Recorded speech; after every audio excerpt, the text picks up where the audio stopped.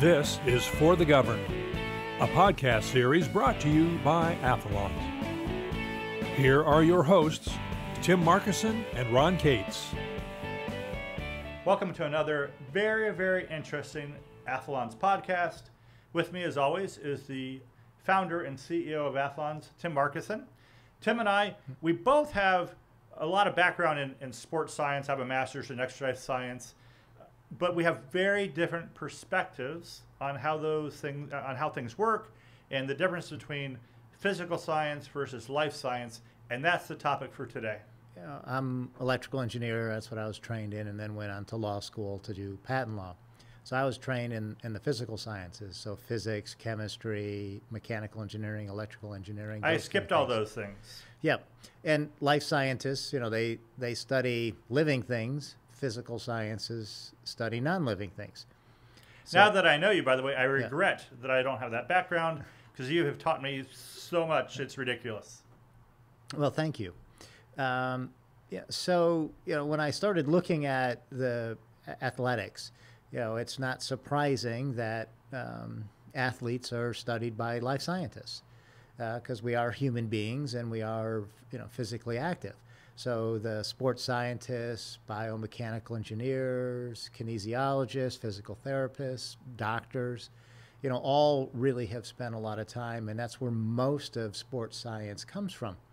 And yet, from my perspective, bringing in the, the physical science part, that's you know there's you know a, a, key component of every every athletic movement is you know pushing off the ground, and that actually gets the athletic movement starting. That's all physics. So there's this interaction between life sciences and physical sciences when it comes to um, athletics.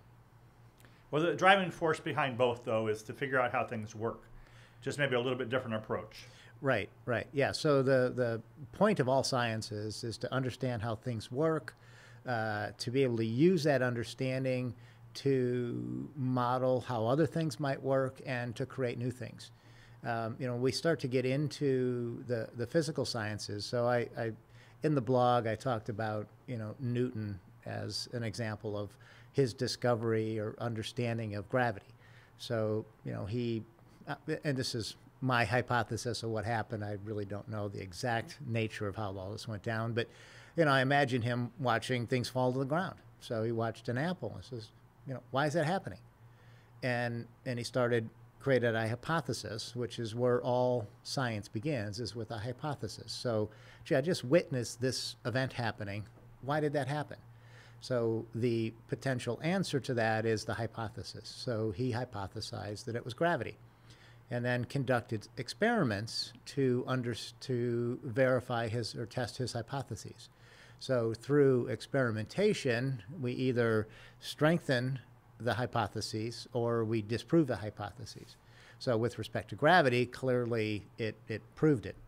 Um, you know, part of the scientific process also is once a, st a study is done, experiment is done, you, you share that information with others so they can they can test and verify the hypothesis or disprove the hypothesis, conduct their own experiments, and then you start getting this collective knowledge. And that's you know that's really kind of the the whole point of science is to grow the collective knowledge. So today we know that gravity exists. There's he did mathematical modeling to figure out what's behind it. Right. And at some point it became replicated so many times is, it's a law. Is that am I the right? Yeah, yeah. Using the right terms yeah. there? So you know, and that's the the interesting thing from my perspective with respect to the physical sciences, is the experiments are a lot easier to control. It's easier to do the mathematical modeling, and you know, once you get to a point where it's been ex- a hypothesis has been extensively studied, the results are always coming out to the same. There's no known exceptions. Now that becomes a scientific law. So with respect to gravity, the mathematical equations to predict how fast something's going to fall, the velocity at impact, all those things, um, you know, are scientific laws.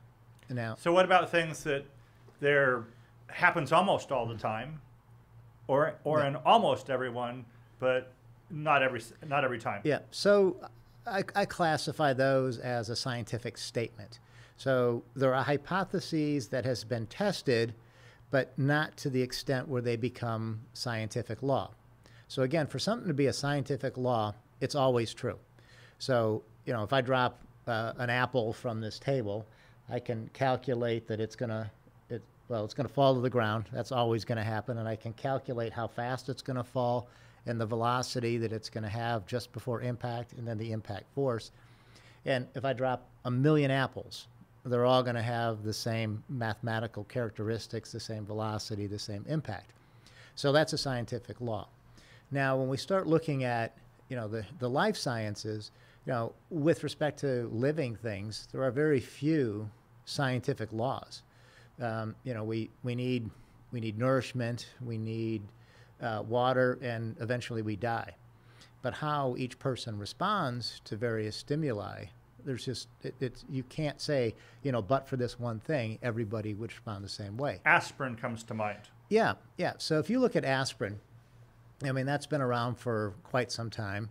You know, it's it's widely used. It's widely understood that yes, for most people, it's um, anti-inflammatory. It helps reduce pain, and it also is a, a blood thinner, so it can help mitigate the effects of a heart attack. Now, from person to person, the amount of pain relief it provides, the amount of blood thinning it provides, is going to vary. So it's not a scientific law that if you take this amount of aspirin, you will get exactly these results. It's going to be a, a range of results. And then for some people, it doesn't work at all. But it's been tested and used so many times that it creates a trustworthiness in that scientific statement. So for a majority of people, aspirin is going to be helpful. All right, so bringing this around to sports. Yeah. Usually in sports science, we either look at, hey, look, almost all elite athletes do it this way, so there must be something to that. Or we do a test, but the problem with a test is that it, it's certainly very hmm. difficult to get a population large enough to draw a significant conclusion. I mean, you, you can only find you know so many distance runners or golfers or baseball players to conduct any kind of test on, and then those are often skewed or biased because they're they're college level or higher, which means they're elite, Right. which means they're they're physically different than um, the regular guy given it a try, regular person Right. giving it a try. Right. There's a big difference between a, a recreational runner and an elite runner. So, uh, in my viewpoint, is that not everything that works for elite runners will work for an everyday runner. Right, right. So, yeah, I mean, there are all types of uh, studies being done. So, you know, a- as an example, uh, and this is kind of paraphrasing a study that I read, but it, it, studied 20 uh, Division One college athletes, and they put them through this particular movement to see how much athletic performance that they would get, and it was a six-week program. And after the end of the six weeks, 70% of the athletes, or 14 of them, actually exhibited some improvement. There were uh, three or four that had no improvement, and then there was a couple that actually um, it inhibited their performance. So now you have a- a, a scientific study because it was done in a manner. But you know, what's the truthfulness? How how applicable is that to everybody? And that's where science starts to get convoluted because in that in that study it's it's way low to me on the trustworthiness because it's just such a small cross section of society you know we're talking about elite athletes like you said division 1 college players it was a very short program and only 70% of the athletes showed improvement is that a sustained improvement or was it just a, a, a blip um, And how much was that improvement? Was Yeah. it significant it, it, or it small? was fraction of a percent up to a, a, a percent or two so it, it kind of varied from athlete to athlete you know but you know, here's where we have a lot of problem in in with science is okay you know technically that was a scientific study but now to say okay well that's going to apply to you me and everybody else that is a a scientific uh, falsity you can't say with any kind of certainty that that's going to work for uh, cross section of the population. It's just way too small uh, of a test sample of a duration. So, you know, as more and more tests are done across greater and greater cross sections of population, and coming up with similar results, um, now you start to increase the trustworthiness of that study. But like you're saying, with sports, you know, so much of it is done looking at the elite player, the professional player, the college player. So to take those kind of studies and say with any kind of certainty that they'll work for the average athlete, that's a that's a, a big Well, they're elite athletes for a reason. They're Yeah. physically different. Yeah, yeah. I've, I've said this all the time. If um, you know, if everybody could do it, it we wouldn't pay to watch sports. I mean, we all walk down the street. You know, there's not a camera out there going, "Oh, look at so and so! Wow, look at that walk today." You know, we we enjoy sports because they're elite because they can do things that most people can't. I'll give you a really good example.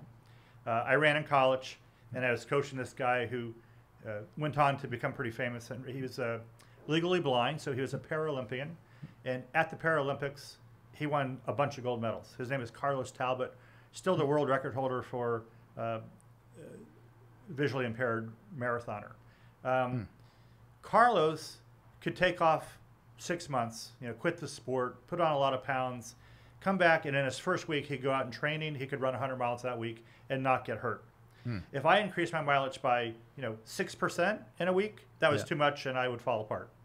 Yeah. So you know, trying this guy's really fast, so oh, we should train like him. That's crazy because he's unique and different. That's why he's an elite athlete. Yeah, and you know, and now this starts to set up a different uh, mentality between life scientists and physical scientists. You know, physical scientists, um, you know, like uh, for me as an engineer, electrical engineer, when I was designing a circuit, if I did my math right and built it right according to my design, it's going to work. I don't need to prove the science behind the math; it's already been done you know, with respect to the life sciences, you know, there are just so many variables that you you don't have that level of certainty. So that's why you have to have uh, um, all these studies, and then growing and growing in studies, and longer and longer studies, and, and more cross sections of people, to get to that level of trust trustworthiness in those scientific statements. Uh, sports uh, sports are played by humans. Right. They're incredibly individual. Eh, Motivation, the, their their physiology is all very very different. So that makes it way tougher to come up with something valid. Absolutely. You know, in the physical sciences, especially like in um, electric circuits, um, you know, I'll stick to what I really know. You know, I I can look at this one component and say, if I change that, I know what's going to happen to the whole system because I can mathematically model it out. You know, uh, you and I we could eat the exact same thing, and our bodies are going to respond differently. You can't, with the human body, there's too many variables. The the was there 20 billion synapses or something like that in the brain? There's just way. I way- only have five. there's way way too many variables in the human body to say but for this one thing um, that wouldn't have happened so it, it creates this this um, you know distinction between oh well we got to study everything to well no no we don't because on the physical sciences as long as i do the math right and i build it right to my design it's going to work. And i can build a million of them as long as i build it to that design all a million are going to work. I don't need to go test every one and and to the level of detail that you would do a study. On the life sciences you have that difference you know so you know and that and that now actually starts to come into play here at Athalonz. I was going to say, at some point, you turned your attention, your in, incredible background, into golf, the golf swing, how shoes work, uh, and it's all based on physics. Yeah. So when you look at our shoes, and we've talked about this before, but what we've done is we've looked at, you know, there's three main components from our standpoint, from a physical science standpoint. You know, how does the the shoe interact with the ground? How does the foot interact with the shoe? And then what are the forces doing through the shoe between the foot and the ground? So those we can mathematically model and design to get more force going towards the body. And that's what we've done in ath- uh, the Athalonz shoes. So I've done the mathematical modeling. We built a prototype. Yep, it works exactly like the math says.